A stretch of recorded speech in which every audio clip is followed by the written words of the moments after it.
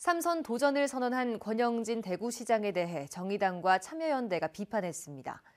정의당은 말 바꾸기로 불신만 초래하는 권영진 시장, 삼선 시장의 자격이 있는가라는 논평을 내고 삼선 대구시장에 나서겠다는 사람이 혐오와 차별, 인권 문제인 이슬람 사원 건립과 코로나19 사태를 2년간 겪으면서도 제2 대구의료원 건립에 대해 입장을 바꾸거나 후퇴하는 것은 심각한 문제라고 비판했습니다.